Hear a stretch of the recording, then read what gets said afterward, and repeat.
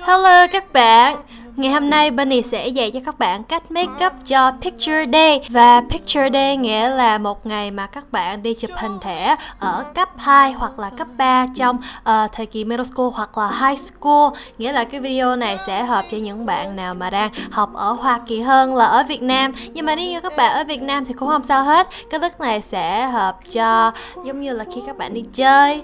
Và vâng như vậy đó. Và tùy theo các bạn muốn make up kiểu này cho trường hợp gì? Hello các bạn. Ok trước tiên hết thì Benny đã dùng kem lót mặt của hiệu ờ, uh, Makeup Forever và nó được mang tên là HD Primer và nó là màu blue nghĩa là màu xanh da trời. Và lý do Benny lựa cái kem lót uh, mặt màu đó là vì cái màu đó hợp cho những da mà những bạn nào mà da trắng giống như Benny vậy đó.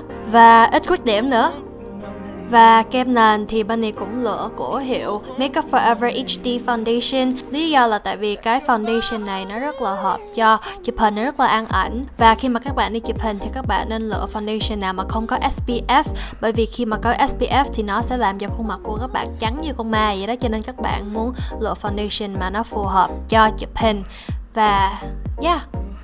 Sau đó Bunny dùng kem che khuyết điểm của hiệu MAC để mà che khuyết điểm lên khuôn mặt của Bunny và Bunny đã dùng bột phấn của hiệu Urban Decay để mà phủ một lớp nhẹ lên khuôn mặt của Bunny để mà set khuôn mặt. Và cái bước tiếp theo thì Bunny sẽ dùng kem lock mắt cũng của hiệu Urban Decay để mà lock lên hai cái khuôn mắt của Bunny Bởi vì nếu mà các bạn không có lock mắt thì khi mà đánh eyeshadow lên, một tí xíu nữa nó sẽ lem, Nhất là khi các bạn ở Việt Nam. Tại vì khí hậu ở Việt Nam rất là nóng theo Bunny sẽ dùng bút kẻ lông mày màu xám để mà kẻ lên lông mày của Bunny và Bunny sẽ kẻ theo cái lông mày của Bunny và Bunny sẽ kẻ cho nó thật là tự nhiên.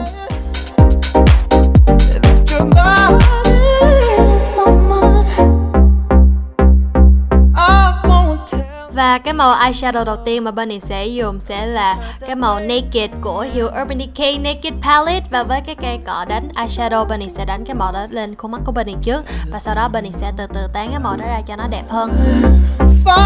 Tiếp theo Bunny sẽ dùng cây cọ xéo dạng dày với lại cái màu buck. Bunny sẽ đánh nó ở bên cái hốc mắt của Bunny Và tạo uh, ra một cái hình giống như là chữ V ấy. Và sau đó Bunny sẽ tán nó ra cho nó đều và làm như vậy thì con mắt của Bunny nó sẽ nhìn sâu hơn Và người ta nhìn vô thì sẽ nghĩ là mí của mình nó thiệt là to Nhưng mà thực ra nó rất là nhỏ. Tiếp theo Bunny sẽ trộn hai màu creep với lại gunmetal và với cái cây cọ. Xéo hồi nãy Bunny sẽ tạo ra một hình chữ V bên trong cái hình chữ V bên ngoài đó à, Để mà à, tạo ra một giống như là một cái khói, một cái smoky eye. Và Bunny sẽ tán hai cái màu đó ra cho đến khi nào Bunny cảm thấy nó ok là được.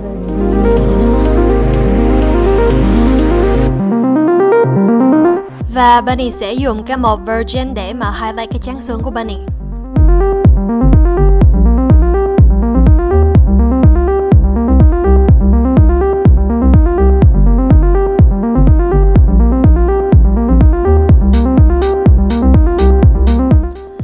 Nói thật nếu mà lông mi thật của Bunny nó vừa dài và vừa cong thì Bunny chỉ cần chút mascara là xong. Nhưng bởi vì Bunny có một cặp lông mi rất là ngắn và rất là ít cho nên Bunny sẽ dùng lông mi giả thật là tự nhiên. Nhất để uh, mà cái loại tự nhiên mà hợp với lại khuôn mặt của Bunny và Bunny sẽ uh, gắn cái lông mi giả lên khuôn mặt của Bunny à, ờ, lên cái cặp mắt của Bunny Dạ.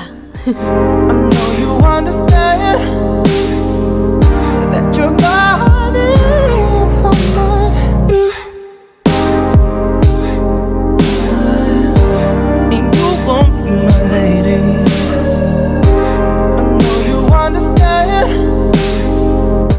Và tiếp theo Bunny sẽ dùng cái màu Revolt để mà đánh ở bên góc trong cái con mắt của Bunny làm như vậy. Thì uh, nó sẽ cho Bunny có một cái con mắt như là bling bling như vậy đó.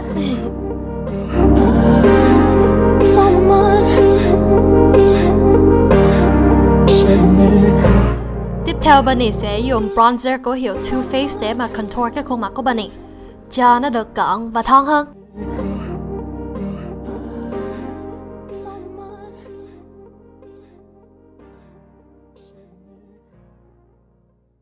Sau đó Benny sẽ highlight khuôn mặt. Để khi mà chụp hình thì ánh đèn sẽ chiếu vào nơi cần sáng, Thì nó sẽ sáng.